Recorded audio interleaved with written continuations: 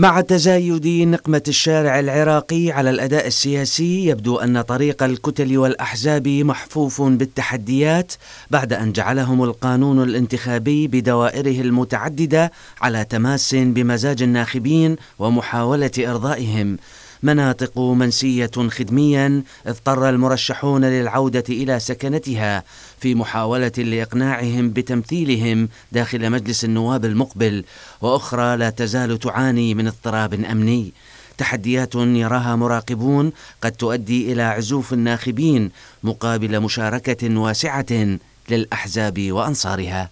أنا أعتقد لا تزال التحالفات كما هي لا يوجد جديد الآن على الساحة. انتخابات ستجرى لا مناص سواء في الشهر العاشر أو ربما تتأخر لأي سبب آخر إلى موعدها الحقيقي لا يضر لأنه ليس هناك فرق كبير يعني لا تعتبر الآن انتخابات مبكرة ولكن لم ألحظ لحد الآن متغير سياسي يدعو إلى أن الانتخابات القادمة ستنتج مسار آخر. ولا تقتصر تحديات نجاح الانتخابات على رغبة المواطنين بالمشاركة فيها فعمليات التزوير وعدم حصر السلاح بيد الدولة قد يخلق بيئة انتخابية غير آمنة ونزيهة.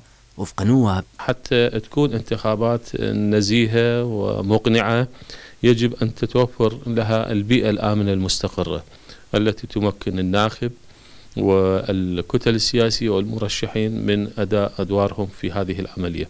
هذا هو التحدي الذي آه، يطلب من قبل الحكومة أن تتخذ بشأنه الإجراءات. وتعمل مفوضية الانتخابات بالتعاون مع الأمم المتحدة على استكمال كافة الاستعدادات اللازمة لإجراء الانتخابات النيابية المبكرة بموعدها المحدد. وبين اليأس من تغيير المرتقب والمخاوف من التلاعب بالعملية الانتخابية تواجه مفوضية الانتخابات تحديات كبيرة لإتمام انتخابات نزيهة وبنسبة مشاركة مقبولة.